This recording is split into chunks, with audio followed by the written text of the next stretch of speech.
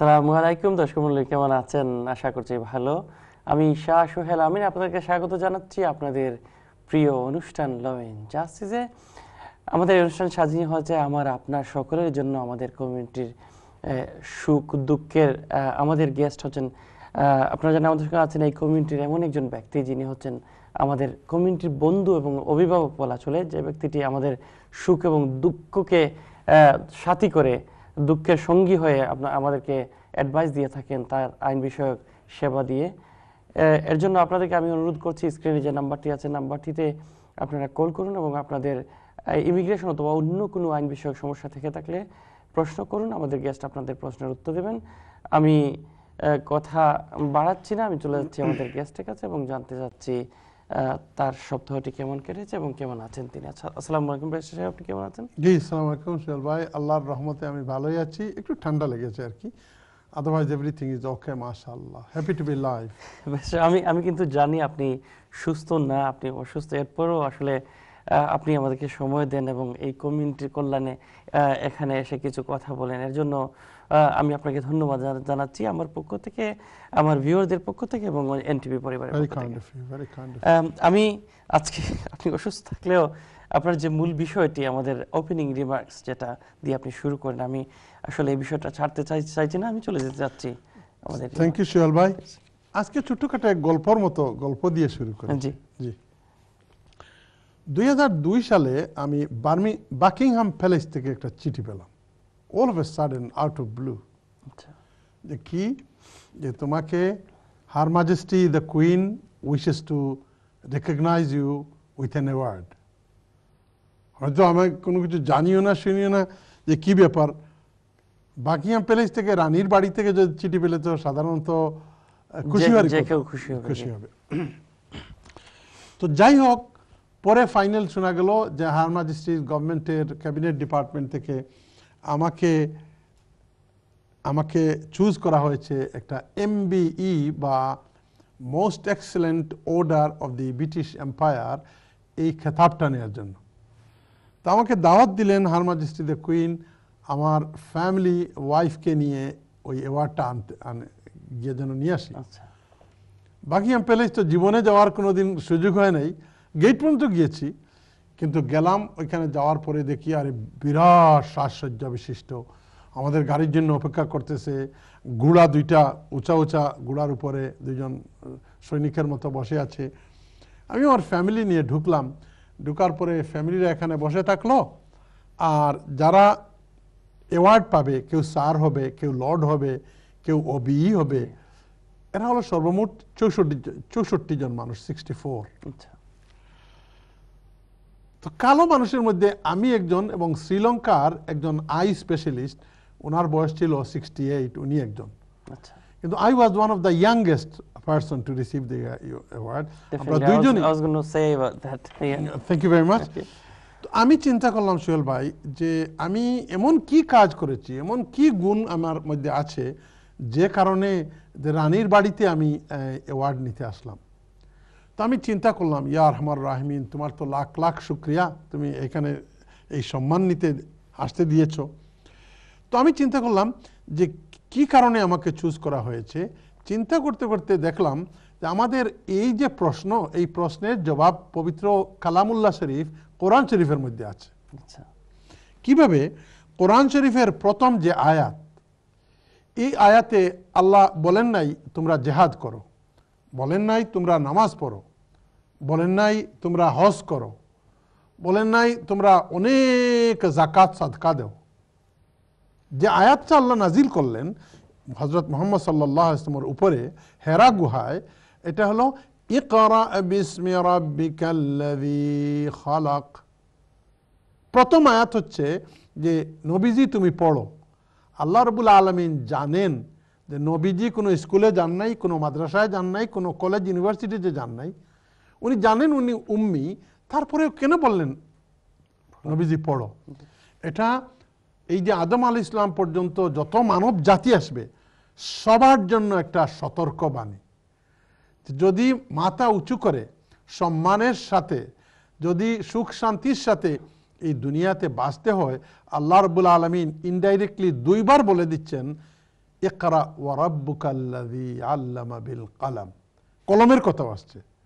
যে তুমি পড়ো এবং আল্লাহর নামে পড়ো যে আল্লাহ তোমাকে কলম দিয়ে সব কিছু শিখিয়েছে। আল্লাহ অন্য কোনো কিছু বলেন নাই। ইন্ডিকেশন যে মানুষ জাতি তুমি যদি যে কোনো প্রফেশনে যে কোনো ওয়াক অফ লাইফে যদি তুমি সাকসেসফুল হতে হয় তাহলে তোমার পড়ালেখা খুবই দরকার। কথাটা বোঝাতে পারছি? আজকে ভাই আমরা কোর্টে যাই। যদি আমি সারা রাত্রে গতকালকে আমি কোর্টে ছিলাম। জি। আগামীকাল বার্মিংহাম কোর্টে যাব ইনশাল্লাহ ভোর ছয়টায় ফজরের নামাজ পড়ে রওনা দিব। আমি যদি এগুলো পড়াশোনা করে না যাই তাহলে ওইখানে গিয়ে জজ সাহেবের সামনে কোনো কথা বলতে পারব? জি না। আপনি দেখবেন কোনো কোনো লয়াররা এইরকম বগলের মধ্যে কাগজ দিয়ে ওই দিন সকালে ক্লায়েন্ট সাথে দেখা করে। দিস ইজ রং এবং আপনি যদি ক্লায়েন্ট হন আর আপনি যদি আপনার কেসটাকে পুরো পুরোপুরি না পড়ে যান না জেনে যান না শুনে যান তাহলে আপনি কি জজ সাহেবের সামনে হোম অফিসের ব্যারিস্টারের সামনে আপনি কি আপনার আপনার পারফরমেন্স কি ভালো হবে? কি বলেন? স্টেটমেন্টের সাথে মিল হবে না। দেখেন আমাদের পড়াশোনা এই জাতি এরা নিয়ে নিছে। আপনি আন্ডারগ্রাউন্ডে যান অথবা যেখানেই যান একটা মহিলা দেখবেন অন্যদিকে না তাকাইয়ে তার তার ব্রিফকেস বা ব্যাগ থাকুক ভ্যানিটি ব্যাগ থাকুক ওইখান থেকে একটা বই বের করে পড়া শুরু করে দিয়েছে। আমরা পড়াশোনার মধ্যে নাই। আপনি যদি বড় আলিম হন তারপরে আপনি যদি পড়াশোনা করেন কেতাবের সাথে, তাইলে আপনার এই আলিমানা যে আপনার বক্তৃতা দিবেন, লেকচার দিবেন, ওয়াজ করবেন, এই ওয়াজের মধ্যে তাৎপর্য থাকবে, নলেজ থাকবে।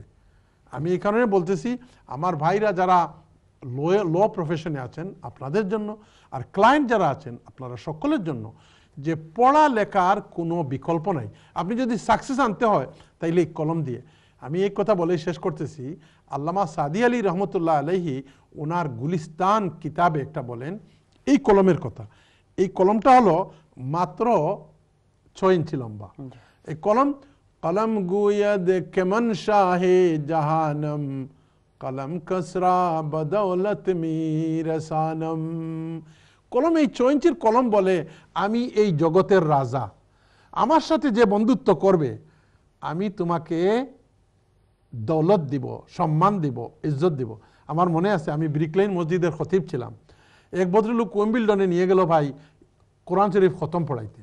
বুঝছেন? ওইখানে নেওয়া যাওয়ার পরে আমি ওই হাফিজ মুজাহিদ আলী গৈরকে নিয়ে গেলাম। ওখানে মাত্র দুই পাউন্ড করে বলে দিবে এক একজনকে। আচ্ছা। পরে বলে তিন পাউন্ড করে। আল্লাহ আমি মিথ্যা কথা বলতেছি না। এখন তো কোরআন শরীফ পড়ে টাকা নেওয়া তো ঠিক হয় না। তারপরে উনাদেরকে আমি আমার পকেট থেকে দশ পাউন্ড দশ পাউন্ড করে দিলাম আর কি। বুঝছেন? পরে একদিন এই লুকি আসছে আমার কাছে তার এই নাম পাল্টাবে। ওই যে যে দুই পাউন্ড করে দিয়েছিল। আমি বললাম যে না আমার কাছে তো কলম আছে। আপনি কাজ করেন এই এই যে ডিড পল এটাকে আপনি আড়াইশো পাউন্ড দিতে হবে। কারণ এটা তো আমার জায়জ আছে আমি যেটা আপনাকে দিবেন। তখন বললাম যে আড়াইশো পাউন্ড বলল না আচ্ছা বিশ পাউন্ড কম নেন। বলে দুইশো ত্রিশ পাউন্ড। সাধারণত আমরা একশো দেড়শো পাউন্ড চার্জ করি। আমি বললাম হ্যাঁ কলম তুমি তোমার কথা পবিত্র আল্লাহ রবুল আলমিন কালামে পাকে প্রথম যখন কোরআন নাজিল করে তোমার কথা বলেছে পড়ার কথা বলেছে আমি যদি ওই পড়াশোনা না করতাম তাহলে ওই যে তিন পাউন্ড থেকে আড়াইশো পাউন্ড আমি চার্জ করতে পারতাম না। কথাটা বুঝছেন? এর কারণে ভাইরা বোনেরা আপনারা মেহরবানি করে পড়াশোনাতে থাকবেন। কোর্টে গেলে পড়াশোনা করে যাবেন লয়ার বাইরে মেহরবানি করে আইনের বই আইন ইজ এ কনস্ট্যান্ট সাবজেক্ট এত খুব তাড়াতাড়ি বদলে যায়। আপনারা মেহরবানি করে পড়াশোনা করে দর্শাবের সামনে যায়েন কারণ আমি দেখেছি গতকাল এক ভদ্রলোক দেখি কথাই বলতেছে না। সব শেষের যে আইন দুই হাজার চোদ্দ সালের ইমিগ্রেশন অ্যাক্ট এটা সম্বন্ধে সে কোনো কিছু বলতেই পারতেছে না। আইন টোটালি পাল্টে গেছে। ওইটাতে রাইট টু আপিলই নেই। এখানে পড়াশোনা করলে আপনার নলেজ বাড়বে ইজ্জত পাবেন হরমত পাবেন এবং এর সাথে রিজেক্টও পাবেন। থ্যাংক ইউ সোহেল ভাই অনেক ধন্যবাদ ব্যারিস্টার সাহেব। খুব সুন্দর করে আমাদেরকে পড়াশোনার জন্য উপদেশ দেওয়ার জন্য আমি কথা দীর্ঘ না করে আমি চলে যাব আমাদের কলারদের কাছে দেখব কে আছেন লাইনে। আসসালামু আলাইকুম। হ্যালো আসসালামু আলাইকুম। ওয়ালাইকুম আসসালাম। আম, আপনারা কেমন আছেন? আপনারা উম, আপনারা খুব অসুস্থ তারপর আমাদের জন্য অনুষ্ঠানগুলো করতেছেন। আপনাকে আপনাদের দুজনকে অসংখ্য ধন্যবাদ। আর ব্যারিস্টার সাহেবকে অসংখ্য ধন্যবাদ এই প্রোগ্রামে আমাদের সবাইকে সাহায্য করার জন্য। অনেক ধন্যবাদ দিচ্ছি আপনাকে খুব সুন্দর করে কথাগুলো বলার জন্য। আপনি যদি আপনার নামটা বলেন এবং কোথেকে বলছেন। আমি কোত্থেকে বলতেছি এটা বলব না তবে আমার নামটা বলি রোশনারা জি। আমি ফোন করছি আসলে আমার একটু লম্বা ইয়ে আছে তারপর আমি সংক্ষেপে বলতেছি। জি বলেন প্লিজ আমি এদেশে প্রথমে আসছিলাম স্টুডেন্ট ভিসায় আসার পরে আমি একজনকে পছন্দ করে বিয়ে করে ফেলছিলাম। তখন স্পাউস ভিসা চেঞ্জ করে স্পাউস ভিসাতে চলে গেছিলাম। তো আমার হাজবেন্ড উনি খুব বেশি মারধর করতো বিয়ের পর- পর থেকে। তারপরে একদিন খুব বেশি ঝগড়া হয়েছিল তো আমি পুলিশ কল করে ফেলছিলাম। অনেক খারাপ কিছু করছিল তারপর আমি পুলিশ কল করছিলাম। তারপরে চলে আসি পুলিশের সাথে। তো ওরা ওদের হেফাজতে নিয়ে আসছিল আসার পরে। তখন আমি ওয়েট করতেছিলাম যে আমার হাজবেন্ড হয়তো বুঝতে পারবে বা রিয়েলাইজ করবে এই সম্বন্ধে। আচ্ছা। আমাকে হয়তো বলবে বা ফোন করবে বা আমি চলে যাব আবার ওর কাছে। উনি ফোন করেন নাই প্রায় ছয় মাস হয়ে গেছে। ছয় মাসের মধ্যে ওরা আমার কাগজপত্র সব চেঞ্জ করে ফেলছিল। চেঞ্জ করার পর স্পাউস ভিসা থেকে আমাকে ইন্ডিপেন্ডেন্ট লিভ দিয়ে দিছিল। দিয়ে দেওয়ার পর তখন আমার হাজবেন্ড আমার হাজবেন্ড এই সম্বন্ধে কিছু জানে না যে আমার কাগজ চেঞ্জ হয়েছে বা এরকম কিছুই জানে না। তো উনি আমার কাছে মাফ চাইছে আর যাওয়ার পরে বলতেছে যে আবার ঠিক করার জন্য এগুলা। আচ্ছা। তো আমি এটা জানতে চাইতেছি যে এখন যদি আমি কাগজপত্র যে চেঞ্জ হয়ে গেছে বা এখন যদি আমি আমার কেস তুলে ফেলি তুলে ফেললে কি আমি কি আমার আমার হাজবেন্ডের কাছে আবার যেতে পারব? গেলে কি ইন্ডিপেন্ডেন্ট লিভটা চেঞ্জ হয়ে যাবে? না ইন্ডিপেন্ডেন্ট লিভ থাকবে। আর যদি থাকেও আর যদি চেঞ্জ হয়ে যায় তাহলে কি আমার হাজবেন্ড আমার জন্য আবার অ্যাপ্লাই করতে পারবে? প্রশ্ন। আমাদের গেস্ট আপনি টিভি সেটের সামনে থাকবেন। আমাদের গেস্ট আপনার প্রশ্নের উত্তর দেবেন। আমি চলে যাব আমাদের পরবর্তী কলারের কাছে। আসসালামু আলাইকুম। হ্যালো আসসালামু আলাইকুম। ওয়ালাইকুম আসসালাম। জি আমি সাইফুল চৌধুরী বলছিলাম নিহো সারে থেকে।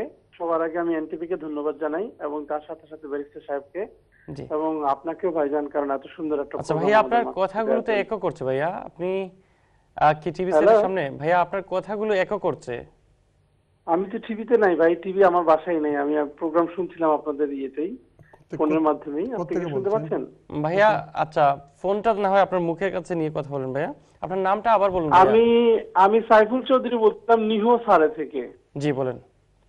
সবার আগে এনটিপি কে ধন্যবাদ জানাই এত সুন্দর একটা প্রোগ্রাম আমাদের মাঝখানে দেওয়ার জন্য। আর তার সাথে সাথে ধন্যবাদ জানাই ব্যারিস্টার সাহেবকে তার সুন্দর সময় আমাদেরকে দেওয়ার জন্য এবং এত সুন্দর সুন্দর সলিউশন আমাদেরকে দেওয়ার জন্য। আর থ্যাঙ্কস ব্যারিস্টার সাহেব আপনার এই প্যানের মানে গল্পটা শোনার জন্য। আমি কি আমার প্রশ্নটা করতে পারব জি ভাইয়া প্লিজ প্লিজ করেন ভাইয়া। জি। ব্যারিস্টার সাহেব আমার প্রশ্নটা ছিল আমি ইউরোপিয়ান ইউনিয়ন থেকে আসা ফ্রান্স থেকে আসা। আমি আমার ভাইয়ের জন্য এখানে আপনার EU extension family member application করেছি। তো করার পরে আমাকে মানে প্রথমবার রিফিউজ করেছে। তার সাথে সাথে আমি আমার জবটাও চেঞ্জ করলাম কারণ আমি একটা ভালো জব পেয়েছি এখানে। তো আমি একটা জব চেঞ্জ করেছি। তো জব চেঞ্জ করার পর আমি সাডেনলি হঠাৎ করে অনলাইনে একদিন চেক করে দেখলাম যে মানে কোম্পানি হাউসে যেই জবটা আমি এখন করছি সেটার মানে ট্রেডিং অ্যাড্রেস এবং ট্রেডিং নেম এবং কোম্পানি নেম ইজ ডিফারেন্ট আচ্ছা। তো এটা কি পরবর্তীতে আমার মানে অ্যাপ্লিকেশনে যে আমি যে এক্সটেন্ডেড ফ্যামিলি মেম্বার অ্যাপ্লিকেশন করেছি সেখানে কি কোনো এফেক্ট আসবে কিনা? আপনি কি অ্যাপ্লিকেশন করেছেন ভাইয়া? Extended family member extend family আর আর কার জন্য করেছেন? উনি আপনার কে হয়? আমার আমার ভাইয়ের জন্য। এখন আপনি বলতেছেন যেখানে কাজ করেন এটা সঠিক কোম্পানি না দুই নম্বরই তাই তো? না না আমি জব তো করছি আমি তো রিটেলে জব করছি। ভাইয়া জব ঠিক আছে সব ঠিক আচ্ছা। আছে। না কিন্তু আমি জি। বলেন জি। আমি জব করছি কিন্তু হঠাৎ করে আমি অনলাইনে চেক করে দেখলাম যে জবের যে ট্রেডিং নেম এবং তার যে মানে পে স্লিপে যে নেম আসে এটা ডিফারেন্ট আমি কোম্পানি হাউসে চেক করে দেখলাম যে ট্রেডিং নেমটা বাসার অ্যাড্রেসে করা। তো মানে যেই কোম্পানি যে পে স্লিপ আসে সেই পে স্লিপটা বাসার অ্যাড্রেসে করা। আচ্ছা আমি একটা প্রশ্ন করে আপনাকে ছেড়ে দিব সাইফুল চৌধুরী সাহেব। জি জি জি। আপনি বলেন যে এইচ এম আর তে আপনার যে বেতন কত পান আপনি? আমি বেতন পাই এখানে এগারোশো। এই এগারোশো পাউন্ডের উপরে এগারোশো পাউন্ড হলে ধরেন আপনার বারো তেরো হাজার পাউন্ডে তো ট্যাক্স আসে। এই ট্যাক্স এবং national insurance number national insurance আপনি কি দিচ্ছেন? আমি এইখানে ঢুকেছি দু মাস হলো। ভাই দুই মাস না বর্তমানে যে আইন আছে এটাকে বলে রিয়েল টাইম কন্ট্রিবিউশন আগে ছয় আচ্ছা, মাস আচ্ছা। পর পর দেওয়া যেত। এখন মাসে মাসে ট্যাক্স এবং ন্যাশনাল ইন্স্যুরেন্স দেওয়া হচ্ছে। আপনি তাইলে জানেন না? আচ্ছা। আমি তো কাজ করছি বেতন নিচ্ছি আমি আসলে জানি না যে এটা তাহলে কি আমি জানবেন না কেন শুনেন আমাদের আমার চেম্বারে মনে করেন কয়েকজন লোক কাজ করে। তাদেরকে যে বেতন দেই এই বেতনের হিসাব মাসে মাসে যায় এই। এইচএমআরসির কাছে। এবং ওরাও এইচএমআরসি জানায় যে তুমি এত টাকা তোমার এই ইনকাম ট্যাক্স ছাড়া তুমি ইনকাম করতে পারো। আপনি কি এইরকম কোনো করেসপন্ডেন্স পান নাই ওইখান থেকে? জি না আমি এইচএমআরসি থেকে এরকম কোনো correspondence okay thank you thank you okay ভাইয়া আপনি টিভি সেটের সামনে থাকুন আমাদের গেস্ট আপনার প্রশ্নের ভিত্তিতে উত্তর দেবেন। আমি দর্শক মন্ডলী আপনার সঙ্গে কথা বলতে বলতে আপনার প্রশ্ন নিতে আমরা চলে এসেছি ছোট্ট একটি বিরতির সময়। বিরতির পর আপনাদের নিয়ে আসব আপনাদের প্রিয় অনুষ্ঠান, আপনাদের প্রশ্নের উত্তর এবং আপনার কাছ থেকে প্রশ্ন নেব। ততক্ষণ পর্যন্ত আপনারা আমাদের সঙ্গে থাকবেন। ধন্যবাদ।